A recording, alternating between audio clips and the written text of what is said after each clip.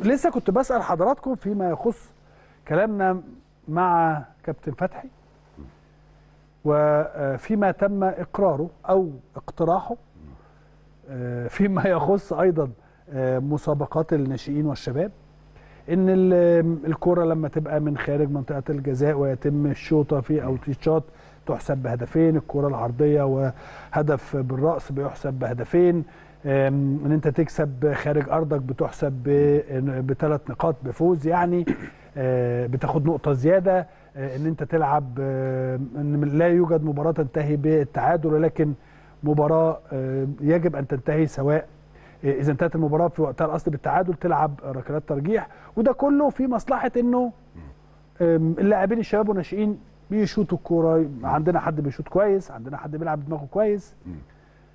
أنا شايف إن الاستاذ محمود بيتكلم على حصلت قبل كده ولكن في لعبة أخرى. آه طبعا لا حصلت طبعا. عاوز أقول لك على حاجة. اتفضل. بص يا كابتن الأفكار حلوة. أوكي. وممكن تتطور بصورة أكتر لو إحنا عاوزين نخرج من دايره إنها تأثر على نتائج المباراة ممكن نعمل لها حوافز مادية.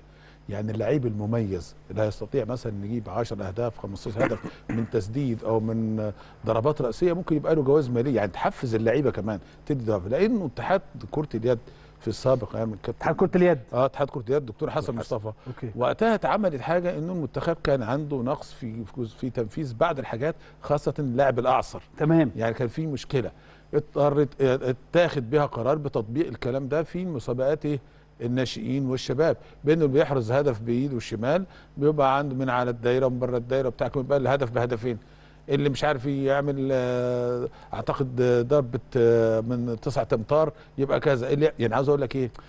تم تطبيق هذا الأمر. آه طب تطبيق هذا الأمر. أنت لازم برضو ده التفكير كويس لأنك أنت لما تيجي تبص بأمانة شديدة عشان نكون واقعيين. وبعدين إحنا شفنا المباراة النهائية امبارح مع منتخبنا منتخب. الاولمبي اللي إحنا بنهنيه على التأهل لأولمبياد باريس وعمل بطولة يعني رائعة. أكثر من رائعة وبحيي الجهاز الفني وبامانه شديدة. امبارح كانت مباراة بعيدا عن واقعة الطرد والمباراة لكن كان في روح وكان في إصرار وكان في رغبة وبأمانة شديدة كنا نستحق إن إحنا يعني نفوز بهذه. نفوز به لكن هي دي الكورة ونحترم برضو المنافس وبنقول له مبروك.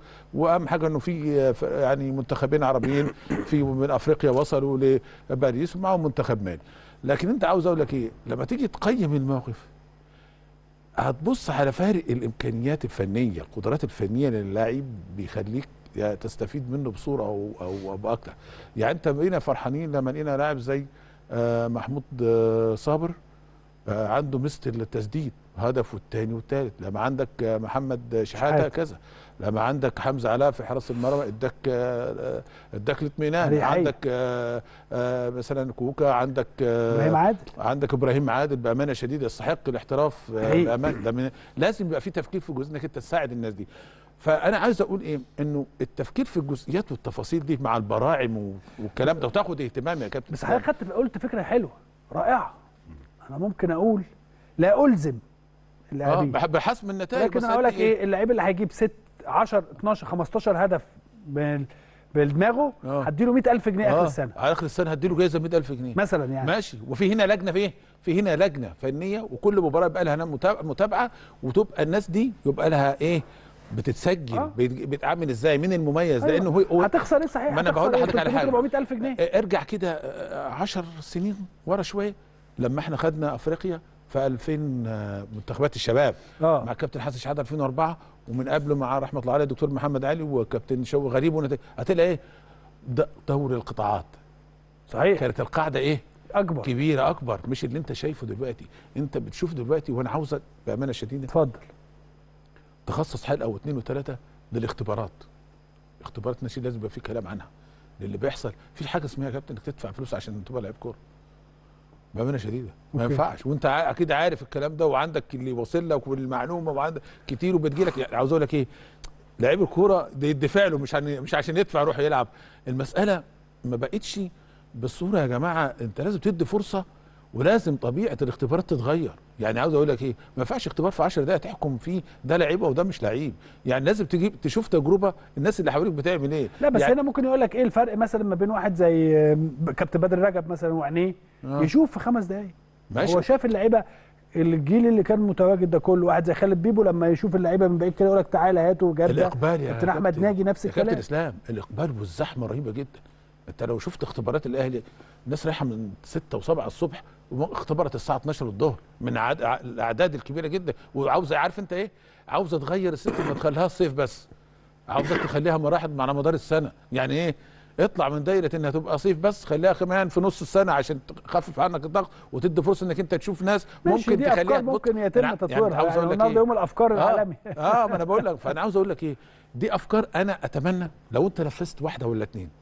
وطبقتها على المسابقات هي. فكرة الفلوس آه طبعا فكرة رائعة. على فكرة هي دي الأفضل هي دي الأفضل والأوقع والأفضل وهتدي حماس طيب. ودعم كبير جدا راي حضرتك إيه. يا أستاذ جمال هو طبعا مبدئيا ال ال آه، م- الفلوس دي يعني مكافأة مالية يعني مكافأة مالية آه. مبدئيا ان إن أنت تفكر في حوافز ودوافع تخلي ال- الأندية تهتم في قطاعات الناشئين بمهارات بالتركيز على مهارات معينة طبعا ده مهم جدا ده حتى من غير ما تخصص دوافع المفروض يبقى ده الشغل في قطاعات الناشئين. ما بيحصلش. آه لكن هو ده اللي المفروض يتم. يعني النهارده ما ينفعش على المستوى آه، فريق الدرجة الأولى إن أنا ما يبقاش عندي لعيب آه، هداف من خارج منطقة الجزاء هو بيقول لك كابتن فتحي وجهة كابتن فتحي نصير وجهة آه. نظره إيه؟ نقول لك طيب قول لي كده خمس لعيبة بيشوطوا لا لا ما هو ما فيش فعلا مفيش. لا هو كمان قول لي خمس لعيبة بيلعبوا بدماغهم كمان يا بعيدا عن مصطفى محمد كمان يا. كابتن إسلام آه، آه، مش عايزين يعني نحكم على هذه الأفكار بإنها مرفوضة ليه ما لا يؤخذ كله يعني مش كله. لازم آه، الكابتن فتحي بيقول أفكار هي على فكرة لم يتم رفضها أو و- لم و- يتم لا وخلي بالك برضو آه. لازم نفتكر حاجة مهمة قوي الكلام طالع من حد اشتغل كتير جدا في هذه المجالات وفي مجال الكشف عن المواهب. أنا فاكر تجربة قديمة شوية لكابتن فتحي نصير مع آه، كارل هاينز يقدر جوت مدرب ألماني. ده كان آه، مسؤول عن المنتخبات في اتحاد الكورة. وحتى الكابتن فتحي سافر بعد كده من حصل بينه وبين إدرجوت نوع من أنواع ال- توأمة. التوأمة أو التفاهم. فراح معاه سلطنه عمان وقعدوا سنين. طبعا. عملوا شغل كبير جدا جدا. فهي الفكرة إيه؟ إنه هل اتحاد الكورة بيرحب بالأفكار الجديدة ويدرسها بشكل كويس ويطبق ما يصلح ويؤجل ما لا يصلح. يعني اللي مش هينفع يطبقه دلوقتي أجله.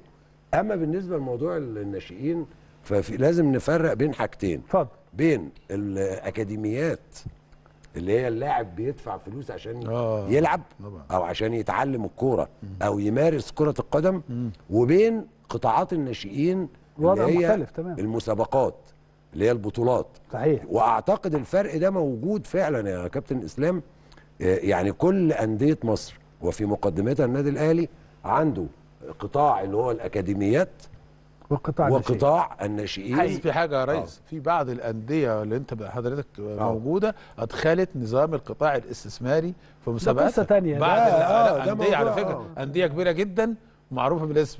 بس ممكن بدأت دلوقتي ها بدأت تغير بعد ما شعرت إنه الناتج إيه آه. الناتج صفر. مكسب لا مكسب يعني مادي ضعيف ضعيف. ما حتى بس لو هو ده يعني شيء موجود لا أنت كان. مميزاتك إنك بتخرج لاعب واثنين وثلاثة وأربعة وعندك طموح رحت بره آه. لما تيجي تخسرها وتقول إن أنا هجيب مثلا فرقة 30 واخد 15 ويجيب 15 هيدفعوا فلوس.